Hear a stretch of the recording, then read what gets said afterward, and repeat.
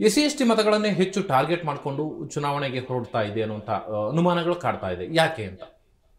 ಇದಕ್ಕೆ ಬಹಳ ಮುಖ್ಯವಾದ ಕಾರಣ ಮೂಲ ಕಾಂಗ್ರೆಸ್ನವರು ಮತ್ತೆ ಬಾಬಾ ಸಾಹೇಬ್ ಅಂಬೇಡ್ಕರ್.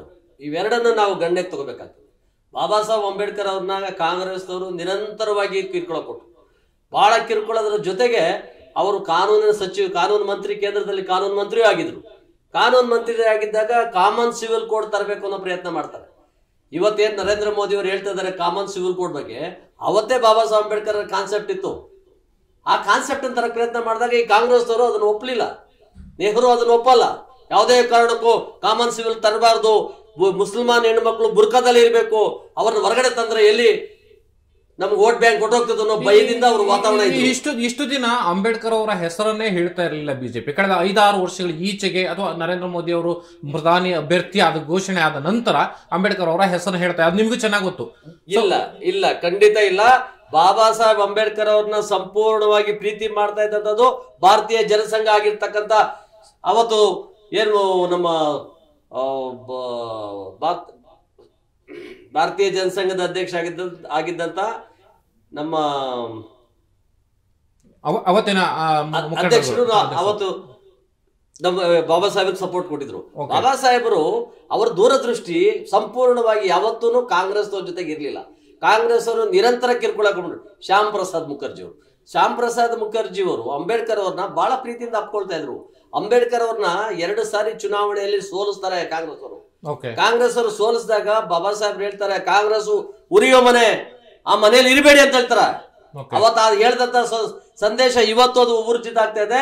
ವಿದ್ಯಾವಂತ ಯುವಕರು ಇವತ್ತು ಕಾಂಗ್ರೆಸ್ ಅನ್ನ ಉರಿಯೋ ಮನೆ ಅಂತ ಅದರನ್ನ ದೂರ ಇಟ್ಟು ಇವತ್ತು ನಾವು ಬಿಜೆಪಿಯಲ್ಲಿ ಸೇರ್ಕೊಳ್ಬೇಕಾದ ಪರಿಸ್ಥಿತಿ ಬಂತು. ಅಂಬೇಡ್ಕರ್ ಅವ್ರನ್ನ ಎರಡನೇ ಸಾರಿ ಒಂದು ಉಪಚುನಾವಣೆಯಲ್ಲಿ ಸೋಲಿಸಿದಾಗ.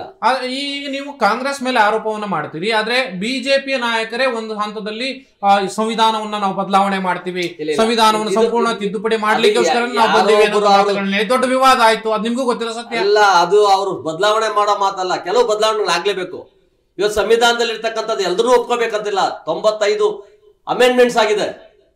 ಕಾಂಗ್ರೆಸ್ ಅವರೇ ಸಾಕಷ್ಟು ಸಾರಿ ಬದಲಾವಣೆ ಮಾಡೋ ತಿದ್ದುಪಡಿಗಳು ತಂದಿದ್ದಾರೆ. ಆದ್ರೆ ಅಲ್ಲಿ ಯಾವ ಅರ್ಥದಲ್ಲಿ ಅವ್ರು ಹೇಳಿದ್ರು ಎಲ್ಲವನ್ನೂ ಹೀಗೆ ಬದಲಾವಣೆ ಮಾಡ್ತಾ ಹೋದ್ರೆ ಅಂಬೇಡ್ಕರ್ ಅವರ ಮೂಲ ಆಶಯಗಳು ಎಲ್ಲಿಂದ ಜಾರಿಗೆ ಬರುತ್ತೆ?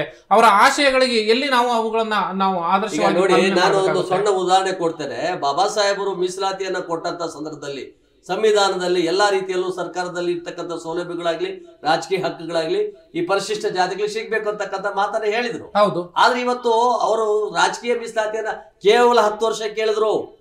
ಹತ್ತು ವರ್ಷದಲ್ಲಿ ನೀವು ಎಲ್ಲ ಸ ಎಲ್ಲ ಎಲ್ಲರೂ ಆರ್ಥಿಕವಾಗಿ ರಾಜಕೀಯವಾಗಿ ಮೇಲೆ ಬನ್ನಿ ಅಂತ. ಹತ್ತು ವರ್ಷ ಆದ್ಮೇಲೆ ಇನ್ನೊಬ್ಬರು ಟ್ರೈನಿಂಗ್ ಕೊಟ್ಟು ಇನ್ನೊಬ್ರು ಬರಂಗ್ ಮಾಡಿ ಅಂದ್ರು. ಇವತ್ತು ಏನಾಗ್ತಾ ಇದೆ ಇವತ್ತು? ಇವತ್ತು ಮೀಸಲಾತಿಯನ್ನ ಪಡ್ಕೊಂಡು ತಿಂದಂತವ್ರು ಕನಿಷ್ಠ ಅರವತ್ತು ವರ್ಷಗಳ ಕಾಲ ಎಪ್ಪತ್ತು ವರ್ಷಗಳ ಕಾಲ ಒಬ್ಬೊಬ್ಬರೇ ತಿಂದಿದ್ದಾರೆ ನಮ್ಮ ರಾಜ್ಯದಲ್ಲಿ. ಸೊ ಆದ್ರೆ ಎಷ್ಟೋ ಜನಕ್ಕೆ ಇವತ್ತಿಗೂ ಕೂಡ ಮೀಸಲಾತಿಯ ಅರಿವಿಲ್ಲ. ಮೀಸಲಾತಿ ಅಂದ್ರೆ ಏನು ಅಂತಾನೂ ಗೊತ್ತಿಲ್ಲ. ಸೊ ಇಂತಹ ಜನ ಇನ್ನೂ ಕೂಡ ಹಳ್ಳಿ ಗಾಡಿಗಳಲ್ಲಿ ಇರಬೇಕಾದಂತ ಸಂದರ್ಭದಲ್ಲಿ ಸೊ ಈಗ ದಿಢೀರನೆ ಈ ಕಾನೂನುಗಳನ್ನ ತಮಗೆ ಹೇಗೆ ಬೇಕೋ ಹಾಗೆ ರಾಜಕೀಯ ಪಕ್ಷ, ಅದು ಬಿಜೆಪಿ ಇರಲಿ, ಕಾಂಗ್ರೆಸ್ ಇರಲಿ, ಅಥವಾ ಮತ್ತೊಂದು ಪಕ್ಷ ಇರಲಿ, ತಮಗೆ ಹೇಗೆ ಬೇಕೋ ಹಾಗೆ ತಿದ್ದುಪಡಿ ಮಾಡ್ಕೊಳ್ತಾ ಹೋದ್ರೆ ಜನಸಾಮಾನ್ಯರಿಗೆ ಬದುಕು ಸಿಗೋದು ಯಾವಾಗ? ನಿಜವಾದ ಅವರು ಅವರು ಮುಖ್ಯವಾಹಿನಿಗೆ ಬರೋದು ಯಾವಾಗ ಅಂತ? ಇವತ್ತು ಈ ಈ ಒಂದು ವಿಚಾರದಲ್ಲಿ ಬಾಬಾ ಸಾಹೇಬರ ವಿಚಾರದಲ್ಲಿ ಬಿಜೆಪಿ ಇರ್ಬೋದು, ನರೇಂದ್ರ ಮೋದಿ ಇರ್ಬೋದು, ಎಲ್ಲರೂ ಇವತ್ತು ಗಟ್ಟಿ ಮನ್ಸು ಮಾಡಿದ್ದಾರೆ. ಆ ತಳಗಡೆ ಇರ್ತಕ್ಕಂಥ ಕಟ್ಟ ಕಡೆಯ ದಲಿತ ಸಮಾಜ ಇದೆಯಲ್ಲ, ಆ ಸಮಾಜನ ಏನಾದರೂ ಮಾಡಿ ಅಪ್ಲಿಫ್ಟ್ ಮಾಡಬೇಕು. ಮೀಸಲಾತಿಯನ್ನ ತಗೊಂಡಿರ್ತಕ್ಕಂಥವ್ರೆ ಪದೇ ಪದೇ ತಿಂತಾ ಇದ್ದಾರೆ. ಈ ತಿಂತಾ ಇರ್ಬೇಕಾದ್ರೆ ಮೀಸಲಾತಿ ಬಗ್ಗೆ ನಾವು ಯೋಚನೆ ಮಾಡ್ಬೇಕಾದ್ರೆ ಸಂವಿಧಾನಬದ್ಧವಾಗಿರ್ತಕ್ಕಂಥ ವಿಚಾರಗಳಲ್ಲಿ ಕೆಲವು ತಿದ್ದುಪಡಿ ಆಗ್ಲೇಬೇಕು. ಇವೆಲ್ಲವೂ ಕೂಡ ನನಗೆ ಒಂದು ಅನ್ಸೋದು. ಸೊ ಇವೆಲ್ಲವೂ ಚುನಾವಣೆ ಹತ್ರ ಬಂದಾಗ ಮಾತ್ರ ಜನ ರಾಜಕೀಯ ನಾಯಕರಿಗೆ ನೆನಪಾಗ್ತವೆ. ಸೊ ಇದ್ರ ಹಿಂದೆ ಈ ಬಿಜೆಪಿ ಈಗ ಒಂದು ಏನು ಐದಾರು ವರ್ಷ ಅಧಿಕಾರವನ್ನು ನಡೆಸಾಯಿತು. ಕೇಂದ್ರದಲ್ಲಿ ಹತ್ತು ವರ್ಷ ಆಗ್ತಾ ಬಂತು. ರಾಜ್ಯದಲ್ಲಿ ಈಗ ಆಲ್ರೆಡಿ ಐದು ವರ್ಷಕ್ಕೆ ಮತ್ತೆ ಕಂಪ್ಲೀಟ್ ಆಗ್ತಾ ಬಂತು. ಸೊ ಈ ಚುನಾವಣೆ ಹತ್ರ ಬಂದಂತ ಸಂದರ್ಭದಲ್ಲಿ ಬಿಜೆಪಿಗೆ ಈಗ ನೆನಪಾಗುತ್ತೆ. ಕಾಂಗ್ರೆಸ್ ನಾಯಕರು ಕೂಡ ಅದನ್ನೇ ಮಾಡ್ತಾರೆ. ಸೊ ಈ ರಾಜಕೀಯ ನಾಯಕರ ಹೊಯ್ದಾಟಗಳಲ್ಲಿ ಜನಸಾಮಾನ್ಯರು ಯಾವಾಗ ಮೇಲೆ ಬರೋದು ಅಂತ? ಅಲ್ಲ, ಅದನ್ನ ಇವತ್ತು ಜನಜಾಗೃತಿ ಉಂಟು ಮಾಡುವಂತ ಕೆಲಸಗಳಲ್ಲಿ ಬಿಜೆಪಿ ಕೆಲ ಹಂತದ ಸಮುದಾಯಗಳನ್ನ ಇವತ್ತು ಆರ್ಥಿಕವಾಗಿ, ರಾಜಕೀಯವಾಗಿ, ಸಾಮಾಜಿಕವಾಗಿ, ಶೈಕ್ಷಣಿಕವಾಗಿ ಮೇಲೆ ತರಬೇಕಂತಕ್ಕಂಥ ಪ್ರಯತ್ನಗಳನ್ನ ಇವತ್ತು ಮಾಡ್ತಾ ಇದೀವಿ ಇವತ್ತು ಕಾಂಗ್ರೆಸ್ ಅವರು ನಿರಂತರವಾಗಿ ನಮ್ಮ ಮೇಲೆ ದೌರ್ಜನ್ಯ ಮಾಡಿದ್ದಾರೆ. ನಿರಂತರವಾಗಿ ನಮ್ಮ ನಮ್ಮ ಹಕ್ಕುಗಳನ್ನ ಕಿತ್ಕೊಂಡಿದ್ದಾರೆ. ಇವತ್ತು ಮಲ್ಲಿಕಾರ್ಜುನ ಖರ್ಗೆ ಅವರು ಒಂಬತ್ತು ಸಾರಿ ಎಂ ಎಲ್ ಎ ಆಗಿದ್ರು ಎರಡು ಸಾರಿ ಲೋಕಸಭಾ ಸದಸ್ಯರಾಗ್ತಾರೆ ಒಂದ್ ಸಾರಿ ರಾಜ್ಯಸಭಾ ಸದಸ್ಯರಾಗ್ತಾರೆ. ಬಾಬಾ ಸಾಹೇಬ್ರು ಒಂದೇ ಮನೆಗೆ ಬರ್ಕೊಟ್ಟಿದ್ರ ಅವ್ರ ಮಗ ಪ್ರಿಯಾಂಕಾ ಖರ್ಗೆ. ಪ್ರಿಯಾಂಕಾ ಖರ್ಗೆ ಯಾಕೆ ಮೀಸಲು ಕ್ಷೇತ್ರದಲ್ಲಿ ಸ್ಪರ್ಧೆ ಮಾಡಬೇಕು? ಅದು ಅದನ್ನ ಜನರಲ್ ಕ್ಷೇತ್ರದಲ್ಲಿ ಹೋಗಿ ಎಲ್ಲ ಅಧಿಕಾರ ಇದೆ ಆತನಿಗೆ ಯಾಕೆ ಜನರಲ್ ಕ್ಷೇತ್ರಕ್ಕೆ ಹೋಗೋದಿಲ್ಲ ಆತ? ಅದನ್ನ ಮೀಸಲು ಕ್ಷೇತ್ರಕ್ಕೆ ಹೋಗ್ತಾನೆ. ಮದುವೆ ಮಾಡ್ಕೋಬೇಕಾದ್ರೆ ಬ್ರಾಹ್ಮಣ ಹುಡುಗಿ ಮದುವೆ ಮಾಡ್ಕೊತಾರೆ. ಇವಾಗ ನಿಮ್ಗೆ ರಾಜಕೀಯ ಸ್ಥಾನಮಾನ ಸಿಕ್ಕಿದೆ. ಸಾಮಾಜಿಕ ಸ್ಥಾನಮಾನ ಸಿಕ್ಕಿದೆ ಆರ್ಥಿಕ ಸ್ಥಾನಮಾನ ಸಿಕ್ಕಿದೆ. ಮತ್ತೆ ಮೀಸಲಿಗೆ ಯಾಕೆ ಹೋಗ್ತೀರಿ? ಬಾಬಾ ಸಾಹೇಬ್ ಎರಡು ಹಕ್ಕನ್ನು ಕೊಟ್ಟಿದ್ದಾರೆ. ಒಂದು ಜನರಲ್ ಅಲ್ಲೂ ನಿಲ್ಬೋದು ನಾವು.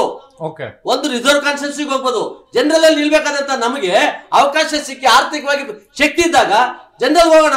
ಇವಾಗ ಗುಲಟಿ ಶೇಖರ್ ಯಾವುದೇ ಪಕ್ಷದ ಬೆಂಬಲ ಇಲ್ಲದೆ ಕಾಂಗ್ರೆಸ್ ಬಿಜೆಪಿ ಜೆಡಿಎಸ್ನ ಹೊರಗಡೆ ಇಟ್ಕೊಂಡು ಅವರು ಪಕ್ಷೇತರ ಅಭ್ಯರ್ಥಿಯಾಗಿ ಗೆಲ್ಲಿಲ್ವಾ? ಅವ್ರ ಸಾಮರ್ಥ್ಯನ ತೋರಿಸ್ಲಿಲ್ವಾ? ಅದು ಜನರಲ್ ಕ್ಷೇತ್ರದಲ್ಲಿ.